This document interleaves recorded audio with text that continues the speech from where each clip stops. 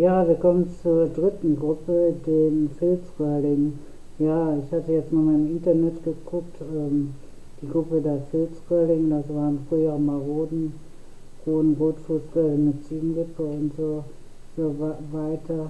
Aber, ähm, aber ich äh, will das jetzt mal so für uns Filz, Fil Filzanfänger beibehalten. Und zwar der Marodenröhring ist ein, der Marodenröhring ist ein sehr beliebter Speisepilz.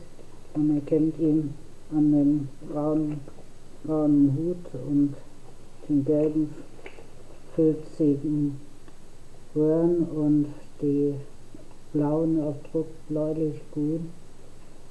Und ja, auch bei uns in Helminghausen, da wächst der Rotfußröhring, der sieht den sieht den ähm, Maronenröhring auch sehr ähnlich und er färbt auch grünlich, hat aber einen roten Stiel und die Ziegenlippe hat halt den blassbraunen Hut und, und ähm, gel ganz gelbe Röhren. Ja, wie gesagt, es gibt da keine, keine Giftpilze unter den Filzgolding. Man kann sie eventuell mit einem Gallengolding verwechseln, aber ähm, der hat ja dann die rosafarbenen Wurm und das braune Netz. Ja.